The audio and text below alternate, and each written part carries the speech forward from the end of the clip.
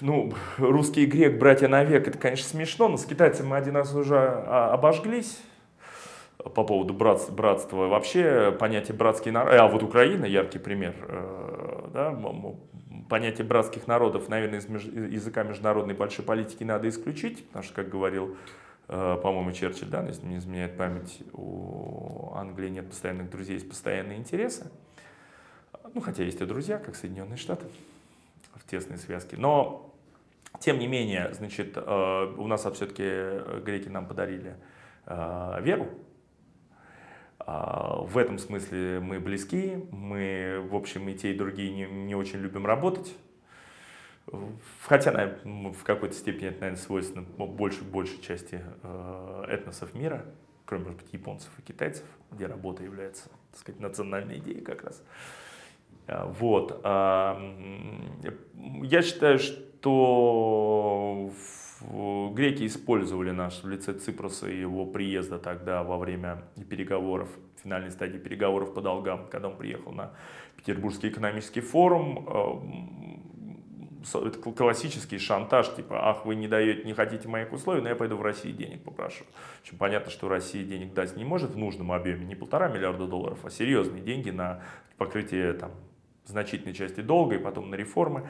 А, это, в общем, было понятно заранее, такой элемент полити внешнеполитической игры. Вы знаете, чем все закончилось? Здесь так Ципруса по телевизору пиарили, что вот, наконец-то, смелый европеец против гегемонии Германии, который управляет Соединенными Штатами. Чем все закончилось?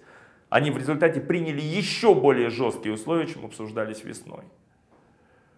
И как бы то ни было, Россия Россия, ну Россия для Греции это там 0,2% экспорта, и полпроцента туристов там или один, и чуть-чуть еще на рынке недвижимости. Все остальное для Греции это Европейский Союз. Я, мне сложно, я не профессионал обсуждать варианты, надо ли Греции оставаться было в зоне евро или из нее выходить. Здесь у самих экономистов нет единого мнения. Но в том, что страна жила в долг все эти годы прожирала бабки. Да, есть вина немцев как двигателя европейской экономики и в целом властей Европейского Союза, которые, зная, что греки не умещаются в требования Евросоюза, столько лет давали им бабки, давали, давали, давали, а теперь резко попросили назад. Ну, тоже, как бы можно сказать, что некрасиво, но имеют право, с другой стороны. И Греция не единственная страна. Есть Португалия, есть Италия с триллионом долга, есть Испания, по с двумя триллионами долга. Там проблем системных накопилось в Европе достаточно много.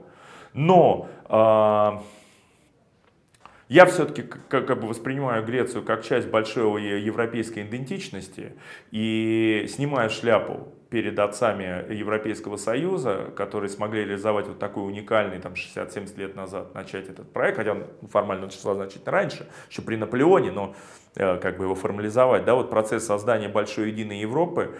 И э, вот вся эта греческая история, мое ощущение, я хотел бы, скажем так, что это, да, это та помеха на, как бы, на большом пути на большом пути создания большой Европы. Может быть, им не стоит расширяться было так, было всегда две конкурирующих стратегии, расширение вглубь Европы, то есть укрепление связи между небольшим количеством государств с уже примерно равной экономикой, или расширение вширь, было, тогда было принято решение там 20 лет назад с лишним, что все-таки будем принимать новых членов, поэтому стали попадать страны, которые объективно не соответствуют критериям Европейского Союза и не сравнимы с э, Германии, Франции, Италии или Великобритании. Но, значит, кто-то, может быть, и отпадет. Да, значит, возможно, будет выработана система исключения э, государств из европейского, если не союза, но как минимум из, из, э, евро, евро, э, из еврозоны. Но я за европейцев не волнуюсь. Я считаю, что у них объективно будет шанс сохранить место большого э, геополитического полюса влияния в мире.